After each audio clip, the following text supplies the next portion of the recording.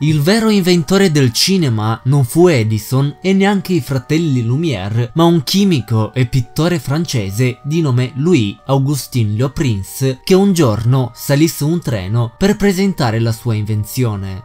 Ma da quel treno nessuno lo vide discendere. Nel 1889 l'inventore miliardario Thomas Alva Edison crea la prima cinepresa e altri apparecchi per la visione e nel 1895 nasce il cinema, allorquando i fratelli Lumière effettuarono la prima proiezione pubblica all'interno di un locale parigino. Tuttavia, queste cose non sono vere, o meglio, non sono complete. Ci fu infatti un uomo che riuscì ad effettuare delle riprese cinematografiche già nel 1886, quindi alcuni anni prima delle imprese del miliardario americano. Un uomo a cui è legato ben più di un mistero, Louis Augustin Le Prince, la persona che inventò il cinema e che per questo motivo, molto probabilmente, si fece molti nemici. Non si sa con esattezza quante riprese le Prince effettua, di quattro però se ne ha la sicurezza. Di questi quattro solo due sono arrivati ai giorni nostri con tutti i frames completi.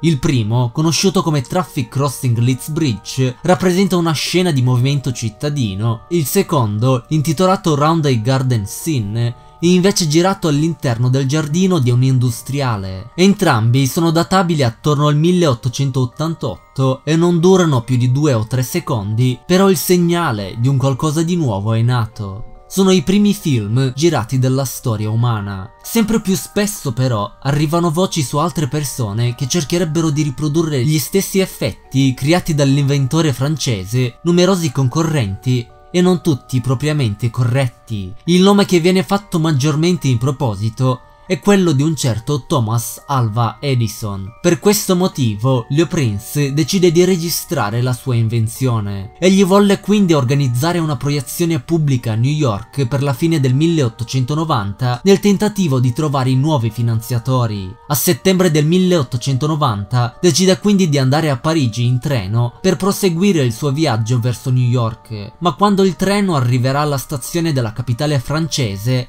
non verrà trovata nessuna traccia né dell'inventore e nemmeno dei suoi bagagli.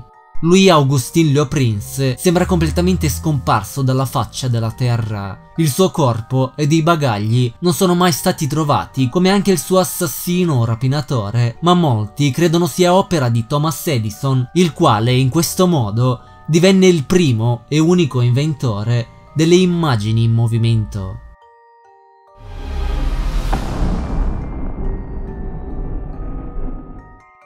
La nave Yoita venne inaugurata nel 1931 e già durante il suo primo viaggio subì un terribile incendio in sala motori che la costrinse a tornare in cantiere per essere riparata. Durante la seconda guerra mondiale fu utilizzata dalla US Navy come vedetta, venne destinata a Pearl Harbor e arrivò al porto il giorno stesso dell'attacco giapponese. Scampata alla distruzione, la Joyita venne messa a riposo il custode che l'aveva in cura morì avvelenato dall'accidentale esalazione di acido della batteria di bordo. Poche settimane dopo, due addetti alla manutenzione ebbero un violento litigio a bordo di essa e si uccisero a vicenda durante la rissa. Il 3 ottobre del 1955 la Joyita partì da Apia ed intraprese la rotta per Fakaofo con 25 persone a bordo. Il viaggio sarebbe dovuto durare solo 48 ore ma la Gioita non arrivò mai a destinazione. Dei 16 membri dell'equipaggio e dei 9 passeggeri non c'era più alcuna traccia e di loro non si seppe più nulla. Quando arrivarono i soccorsi trovarono un lattante parzialmente sprofondato e al suo interno trovarono solo un kit del pronto soccorso ricoperto di sangue.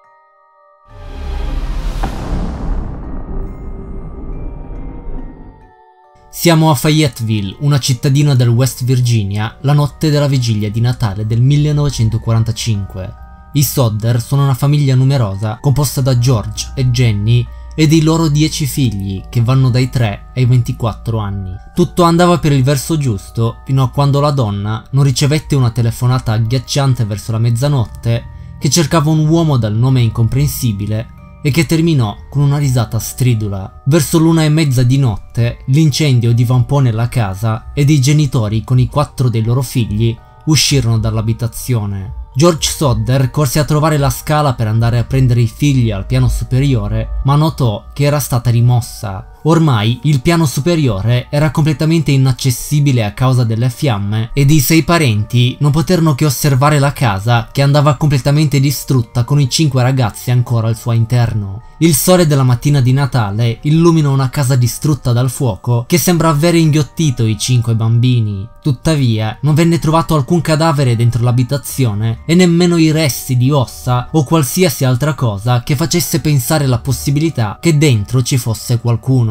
L'inchiesta fu chiusa ed i cinque figli Soddar dichiarati morti. La famiglia quindi ingaggiò un detective privato per indagare sulla sparizione dei figli, ma anche questo morì in circostanze misteriose. La teoria più accreditata è che si sia trattato di un rapimento. In molti credono che a Fayetteville vi sia una vera e propria tratta dei bambini, sulla quale la polizia locale corrotta chiude un occhio. Un paio di mesi prima, infatti, un uomo di Fayetteville si presentò dai Sodder per vendergli una polizza sulla vita.